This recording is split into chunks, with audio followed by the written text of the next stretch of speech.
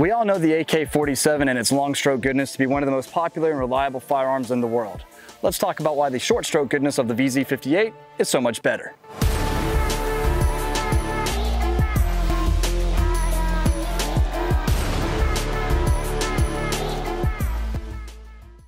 Welcome back everybody, Clint here today at Classic Firearms and we're here to film on some AKs.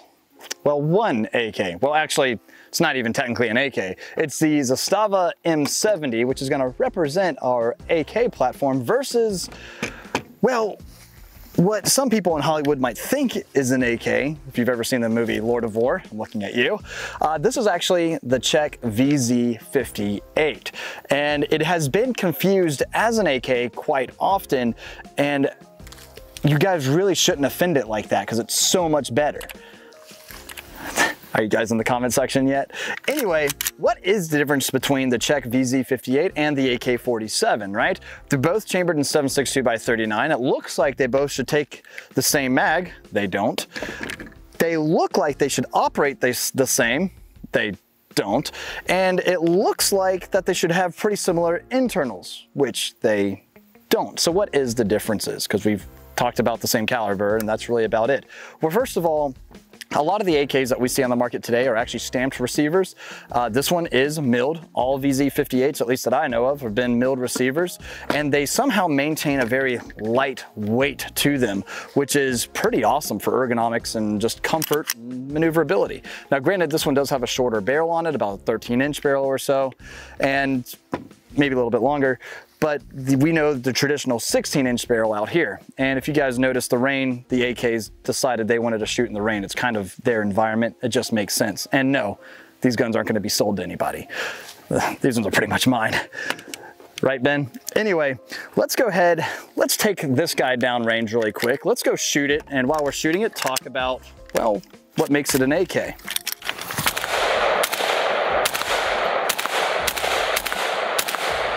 Oh man, that feels good.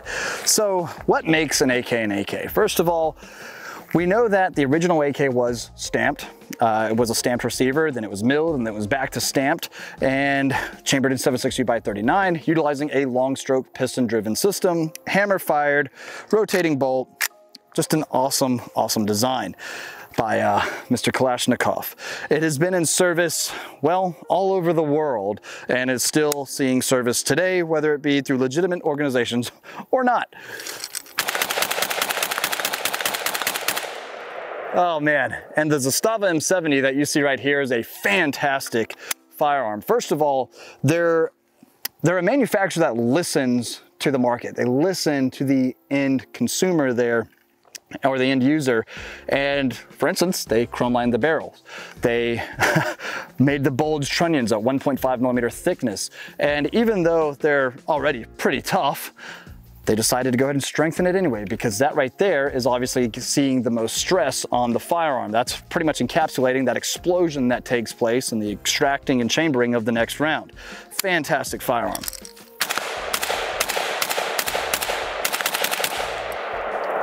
Last round bolt hold open on this mag, which isn't traditional, but that's okay. The gun itself doesn't actually feature a last round bolt hold open. It's just built into the magazine. Excellent gun. Just keep in mind though, this is more of a Yugo style gun, so your traditional AK parts like your foreign stock, they're not gonna fit, all right? But fantastic firearm. Now let's compare that to the short stroke piston driven system of the VZ58. Uh, we've covered this in a lot of videos, so if you wanna see a more in-depth review of a short stroke versus long stroke. You can check that video out, me and Matt are in that. Uh, we cover it, like I said, a lot. But to sum it up for you, and actually the VZ58 makes it very easy to sum up because I can show you First of all, all this is open. You'll notice on the standard AK, about to give myself VZ58 hand, you'll notice on the standard AK, you've got the dust cover that well, covers everything for you. And there's this piston that you see right here. This is that whole operation rod or the op rod that connects to the bolt carrier group itself that operates the gun. So those gases travel down the barrel, come here through the gas block and push on that piston and operate the bolt. Pretty sweet, right? So nothing really similar other than those gases traveling down the barrel coming through a very similar type of gas block. But what you'll notice first of all, a built-in bolt catch. It's kind of nice.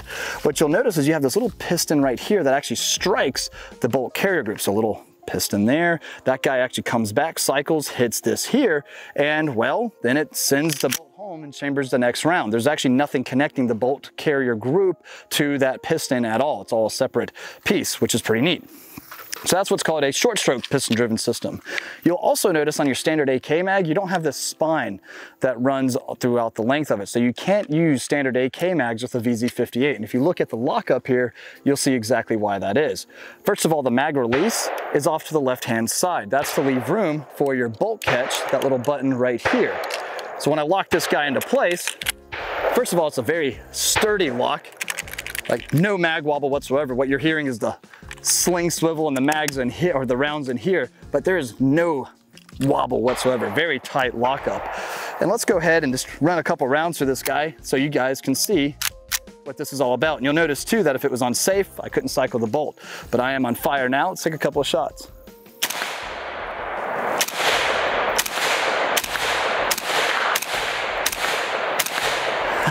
you could tell a new gun. All those initial smoke and oil burning off and everything else and that flash you get from that shorter barrel on this guy is fantastic. Now keep in mind, this is legitimately a pistol, not a short barreled rifle or anything like that.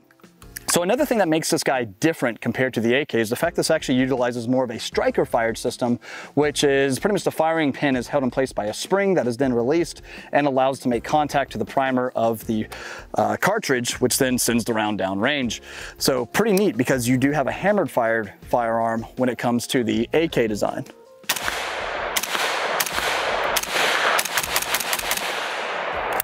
That muzzle flash is something awesome. Now, another cool thing about this being such an open piece back here is there's not really any room for error when it comes to extraction. It's just gonna launch, you know, shells all over the place, but you're not gonna really have to worry about it getting caught up or anything like that. And I think ultimately kind of increases reliability.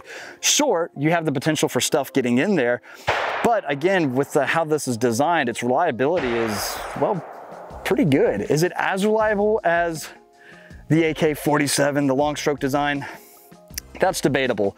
Personally, again, my opinion, I don't think it is. Just throwing it out there. The long stroke system is simply just a little less complex than the short stroke system. And with that being said, they both work really, really well. So there's that.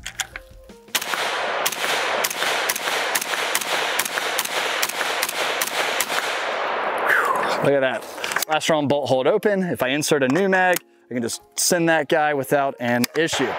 But again, you can look at that very open breech that you have there, and it's just a pretty simple design in that aspect. But again, the short stroke, just the nature of it, it's gonna be a little bit more complicated, but nothing again that's gonna really cause issues with the gun. So biggest difference is you're gonna find, you can find AKs with milled receivers, of course, but just about all VZ58s will be milled. Uh, you're obviously gonna have different parts as far as the magazine goes, the internal components, all of those are gonna be different because of, again, just how it operates. The VZ58 been around since the late 50s. I'll let you guess what year, 1958. it had uh, some designs. Uh, it was pretty much designed during the late 50s, 56 to 58, saw service in 1959. Uh, but in the early 80s, they pretty much stopped producing the military variation of this, but it's still being produced today. This is a new production VZ58 by Czech Small Arms, which is super cool and a really, really fun gun. Again, they just look very good. And on top of that, they're pretty lightweight, which is pretty impressive. Granted, yes, yes, I know it has a shorter barrel than the Zastava here, but at the end of the day, it's a nice lightweight gun. It feels really good to shoot. But if you're looking for that traditional long stroke gun, the AK system is just where it's at. But if you wanna be somewhat different and think you're better than everybody else, kind of like HK, go with the uh, VZ58. Czech Small Arms makes a great option for you, and you definitely should check them out. Anyway, let me know which one you guys prefer down in the comment section. Of course, there's our price differences and things along those lines and also too just stuff that's more common. You can definitely find more AK mags on the market than you can VZ8, VZ58 mags, so that's something to keep in mind as well. Anyway, I'll hear from you guys down in the comment section below. I'm gonna let the rain kind of cool these guns off a little bit. I know they're asking to be, uh, you know, watered, so maybe we'll sprout more AKs. I don't know if that works or not, or if that's how they do it in Russia. But anyway, I'll leave it off there. Don't forget too to check out our current giveaway because here at Classic Firearms, we like to give away a lots of guns, whether it be SCARs, 50 cals, MP5s, I don't know, custom high-end ARs. It, it could be whatever you could ever imagine, I don't know. Anyway, classicfirearms.com is where you can get your entries. Don't miss out. As always, we appreciate you and your business. God bless. We'll see you next time at classicfirearms.com.